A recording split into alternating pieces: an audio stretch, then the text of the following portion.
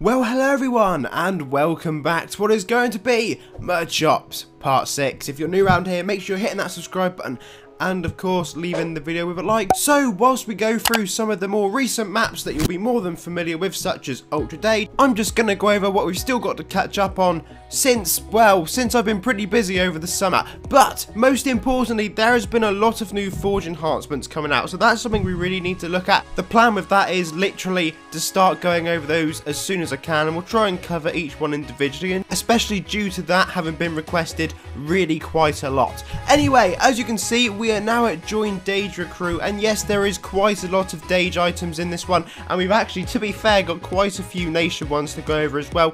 You know, a lot of these, like I say, we've been to fairly recently, but we have got some older maps coming along fairly soon. But they're still worth going to, especially if you do want some more Legion gear with these AC tags that attach to pretty much all of the items in the vast majority of these shops. You usually can tell when we're at an older shop because, well, there's not usually AC tagged ones in there. They're pretty much all free player and just a mix up of member items. A wide variety of helms within this shop if you do fancy going along and checking them out. And I would say generally if you've got a few minutes spare, it is worth if you just see an item that you do quite fancy, such as the Flaming Skulls, because Flaming Skulls are awesome. Why not go along and grab them if you are looking just to play some AQ for a bit? Obviously, there are other games available on the market. Anyway, join Evil War Dage, and we've got some shops here now. The Evil War slash the Dage War. In fact, this whole war event came out years and years ago. This must be like 2015-16 territory. I could be totally wrong there, but these shops they do actually occasionally chuck random rare items into, so it's always worth just keeping an eye on these. But again, with Void Highlord and Yami, you'll be more than familiar with these maps. However, we are now very nearly at the end of this one,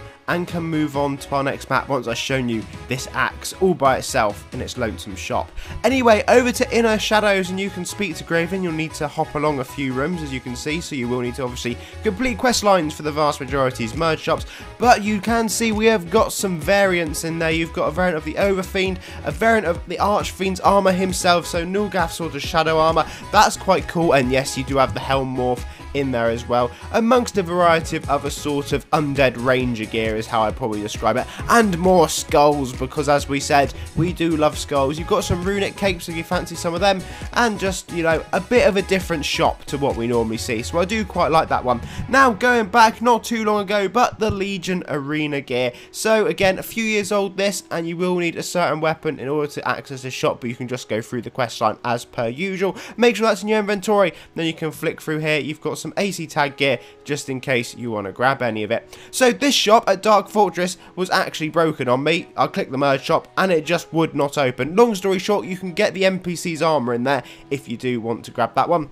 Next up, let us go along to Dage Fortress this time. And again, more Legion gear would you believe. And it's all about Cerebus. I think that's how you say it. It's that ginormous hellhound thing in it. But yet again, as you can see, AC tag. So don't worry about your bank space because that will just slot in there. Next up, join Kolyaban. We're now heading into a couple different merge shops that have some different gear to what we've seen throughout the rest of the video. It all feels very much the stuff that druids would wear now, and as you will see in the next shop, it literally is that. So next up, we are going to join Dark Heart, and at Dark Heart, you have just got some free player gear and a couple member items, but as you can see, you have got some that have the famous Stone Crusher runes along them. And yes, in case you're wondering, I am still in love with Stonecrusher class. What a beautiful thing that is. Anyway, next up, Join Dark War, we are back to the Legion gear, and as you can see yet again, this one is a pretty recent map, but it does mean we do have two shops to look at here. One is Legion, one is Nation, so yes, it is double trouble down at this map, and that is something that's quite nice because we do have quite a wide variety. This is essentially like the updated one, they've literally thrown everything from the event into this, so you should be able to grab it. You've got the really nice Dage art in here, and some of the gear I'm actually really quite a big fan of, and I am debating going along and getting that artist Dage armor because I just really really like that one. That's one of my favorites and I actually forgot to get it back, back along whenever this actually came out. But here we've got skew as well. You have got some pretty wacky Arch archfiend gear in here but you do also have a really nice spear right at the bottom that we'll get onto in just a moment. Obviously you have a wide variety of items as with all these shops lots and lots of weapons lots and lots of helms but that is generally just the way they go. I don't really mind it when we have too many weapons. It's just when there's a million and one helm variants it just seems to bog it down a little bit. Anyway, so you have the double-edged kind of Archfiend spear, but then you also have the Spear of the Archfiend, which is a really, really nice weapon. It does have quite a lot of farming needed for it, but it's not overly strenuous, so that is something you may want to consider grabbing. And then, of course, you've got plenty of helms, armors, as we just saw, and quite a nice animated cape there. If you're interested, there is also that orb pet lurking within the shop. Next up, let's change that theme up, so join Death Pit. Just when you think you've seen the last one, the Drakels reappear and you have got some worn up big guns here. So if you do fancy looking like a Drakel for a little bit, you have some armors that you can grab from this map.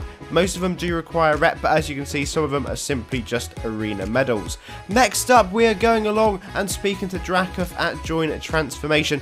I love some of those animations. They look incredibly cool. So definitely worth thinking about and just putting a marker on this particular map and shop if you've yet to go along and grab some of these. And as we say, there's a million and one helms to look at as per always, but I don't actually mind these. They are pretty big, most of them, but you do have some of the hoods. I personally am more of a fan of the hood kind of gear, but I think that just kind of goes better with my general sets because I don't usually go for anything too huge and wacky. And finally, we are at Join Deep Forest where you can get some polished variants of some of your favourite chaotic weapons. Anyway guys, thank you all very much for watching. Please do leave this video a like and subscribe because we'll be back for more merge shops really, really soon as we try and go through the vast majority of them in the game. And of course, I'll be back for other content. As I said earlier, we do need to look at those new enhancements that have been coming out over the last few weeks. But until next time, have a lovely day, and I'll see you all again incredibly soon.